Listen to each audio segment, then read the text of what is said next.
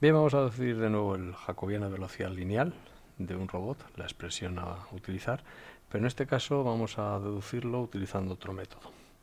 Un método en el cual vamos a estudiar el dibujo que tenemos aquí. Antes de nada, recordar que el jacobiano velocidad lineal, lo que nos permite calcular la velocidad lineal, conocidas las velocidades de articulación. Bien, pues el jacobiano es una matriz, este caso una matriz de 3 por n, que nos permite realizar el mapeo entre el espacio de articulaciones y el espacio cartesiano. Bien, para ello vamos a recordar también que este jacobiano va a tener una serie de componentes.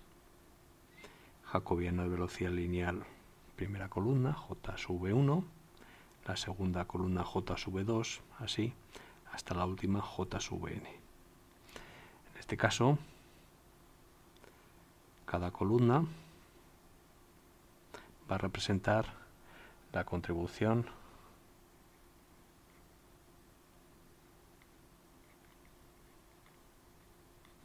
de la articulación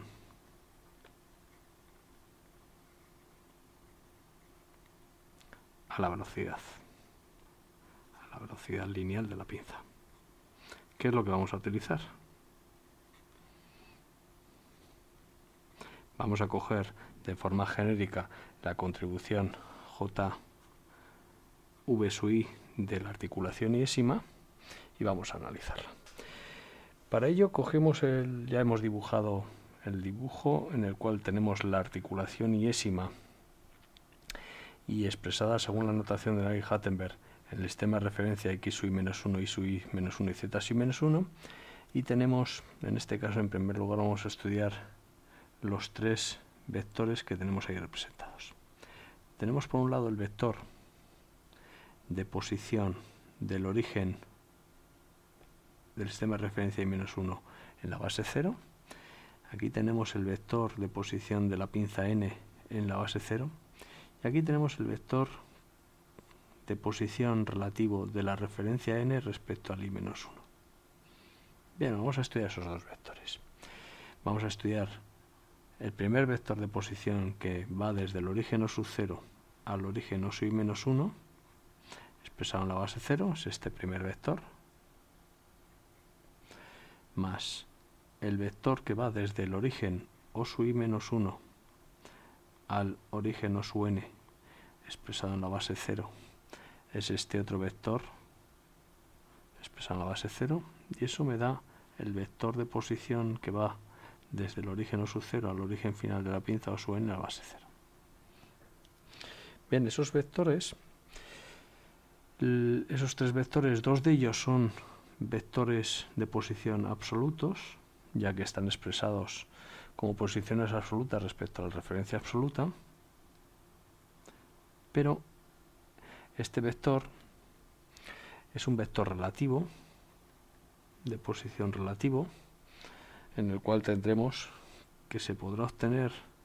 premultiplicando por la matriz de cambio de orientación del sistema de referencia i menos 1 respecto al 0 al vector de posición relativo que va desde el origen O i menos 1 hasta el origen O n en, expresado en la base i menos 1. Este es el vector de posición relativo que hemos utilizado en, en sesiones anteriores. El resultado, con una notación más simplificada, es la que, es la que vamos a utilizar ahora. Si tomamos como índice 0 la base absoluta 0 y la obviamos, tanto como origen del punto inicial como superíndice en la cual expresamos la referencia, tendremos que el vector de posición absoluto de la referencia i menos 1 más la matriz de cambio de orientación que nos transforma el vector de posición relativo relativo a la referencia i menos 1 de la pinza n nos dará el vector de posición absoluto de la referencia n. Y aunque no lo hayamos puesto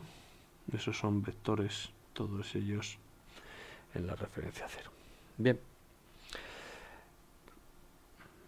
Esto es importante recordarlo ya que estamos recordando conceptos ya vistos en sesiones anteriores ¿Para qué vamos a utilizar esto? Pues más adelante utilizaremos este resultado parcial para calcular el jacobiano velocidad angular. Bien, como decía anteriormente, el objetivo ahora es estudiar la contribución de la articulación iésima al jacobiano velocidad, velocidad lineal, por lo tanto lo que vamos a estudiar es cuál es la velocidad lineal, en primer lugar, que tiene la pinza n en la base i-1 o velocidad relativa en la referencia i-1. Esta velocidad es una velocidad expresada en composición de momentos como una velocidad que forma parte del movimiento de arrastre, que se calculaba sin más que multiplicar la velocidad angular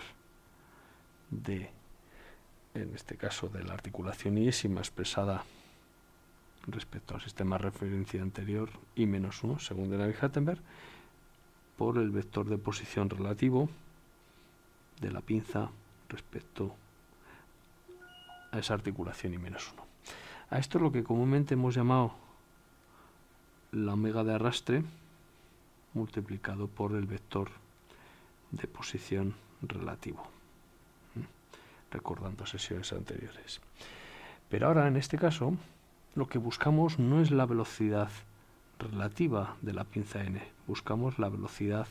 de la pinza n expresada en la base 0, por lo tanto multiplicaremos el resultado anterior por la matriz de cambio de orientación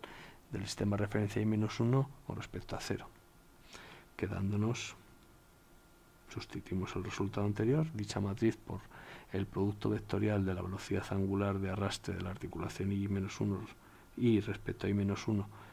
por el vector de posición relativo de la pinza respecto a la articulación I-1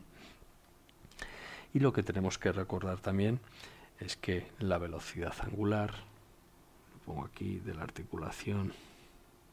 iésima expresada en la base o la referencia I-1, utilizando de Navi-Hattenberg, como hemos visto en sesiones anteriores, es igual al valor de la articulación θ 1 punto en el eje anterior z. Por lo tanto,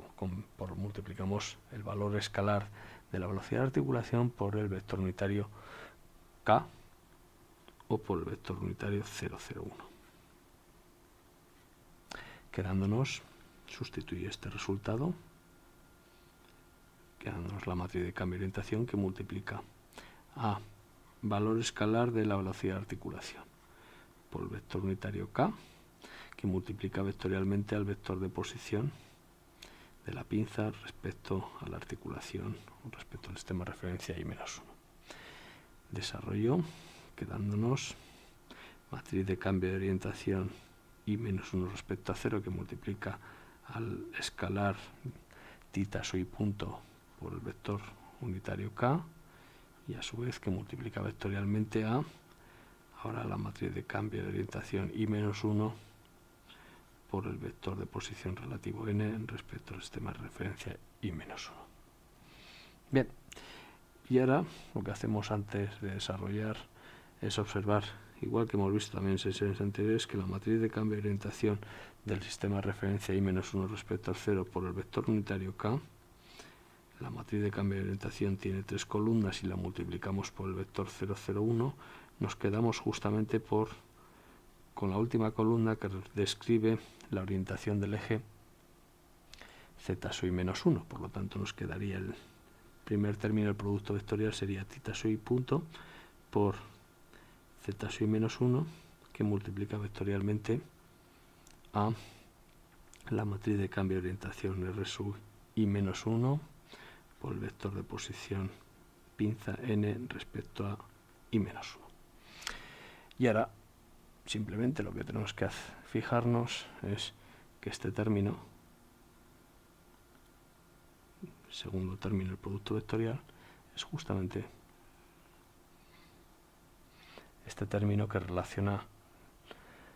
las dos posiciones, los dos vectores de posición absoluto con el vector de posición relativo pasado a la base cero. Quedándonos por lo tanto el resultado va a ser tita soy punto que multiplica en este caso a z soy menos 1 perdón, que multiplica escalarmente al eje z soy menos 1 multiplicado vectorialmente por la diferencia del vector de posición absoluto de la pinza menos la posición absoluta del origen o soy menos 1. Esto es justamente el jacobiano de velocidad lineal debido a esa articulación. Por lo tanto, este jacobiano es este jacobiano que tenemos aquí y es una matriz de 3 por n que en este caso tendrá como formulación general de todas las columnas tendrá el eje z0 que multiplica vectorialmente a la diferencia de posición de la pinza menos la posición del origen o sub 0 la segunda columna de, debido a la articulación primera pues tendría la expresión z1 que multiplica vectorialmente por la posición de la pinza menos el origen del sistema referencia 1 así puntos suspensivos llegamos a la articulación iésima donde tendremos el eje z sub menos 1 que multiplica vectorialmente a la posición de la pinza n menos la posición del sistema referencia y menos 1 absoluto hasta llegar a la última columna que tendremos el eje z sub n menos 1 que multiplica vectorialmente a la diferencia de la posición de la pinza absoluta menos la posición del sistema de referencia n menos 1. Bien, y este es el método para obtener el jacobiano, jacobiano de velocidad, en este caso lineal global,